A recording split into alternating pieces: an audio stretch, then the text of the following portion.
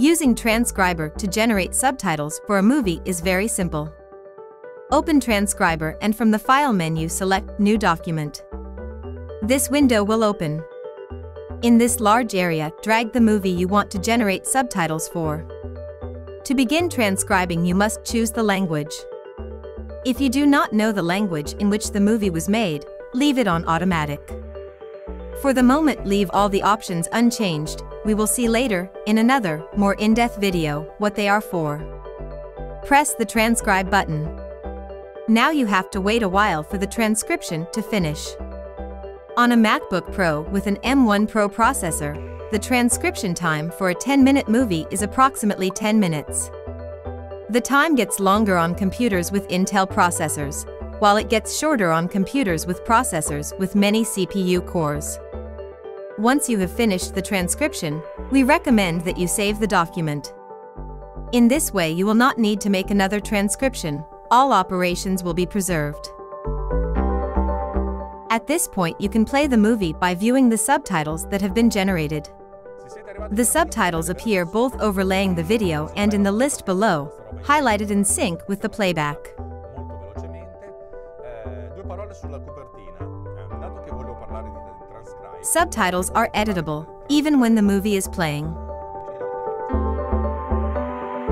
Similarly, if you click on a subtitle, the movie will move to the corresponding time frame. Our advice is to always do a review of the transcription, because the speech recognition model is very good, but not perfect, and especially with names of people or places, particularly in languages that are not widely spoken, there may be errors. You can do text search in particular by typing even a few characters in this field. Only the subtitles that contain the search string will be displayed. Similarly, you can search and replace a particular string throughout the text. By clicking on this panel, you can see the text as a single element, not divided into subtitles. Before exporting subtitles, it's a good idea to check that some of them are not too long. Click on this button, with the orange circle, to view all and only subtitles that are particularly long, such as these. What is considered particularly long? Click on the Settings button. This window opens showing all the settings for the document. In the Subtitles section you can specify how many lines at most can be displayed, by default 2. Likewise you can specify how many characters at most can appear in a single line. The default value is 75, definitely okay for 16 ninths videos, but probably for vertical videos you will have to decrease this value and do some testing. Close the Preferences panel and return to the document. These subtitles with the orange circle are the ones that are so long that they would take up more lines than specified in the preferences, consequently transcriber suggests splitting them. Since the subtitles, when split, will appear in consecutive instance, you must try to break the sentence so that it is somewhat understandable. To split the sentence place the cursor between the two words you want to wait for and press enter. Automatically the subtitle will split into two consecutive subtitles, you can see this from the time codes of the first and second subtitle. The time point at which the subtitles are split is automatically calculated by transcriber based on the number of characters in the first and second subtitle. Repeat this operation for the other excessively long subtitles as well.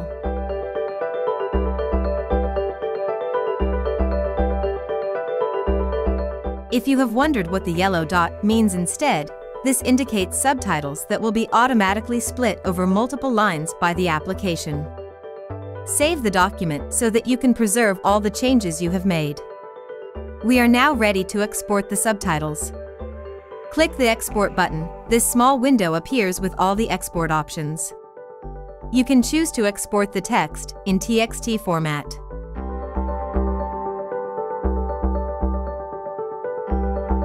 Or you can choose to export the file in SRT format.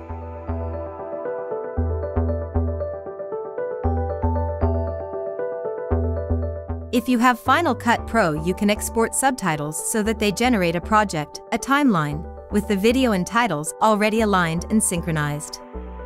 A file in FCP XML format is exported, you just have to drag this file to the Final Cut Pro icon. Final Cut Pro asks you in which library you want to open this file. If you see this warning message, don't worry and click OK. Final Cut Pro will make any timecode rounding corrections. You can now see the movie with the subtitles superimposed as text. That's all for this first transcriber tutorial. In subsequent tutorials we will look more deeply at all the program's capabilities.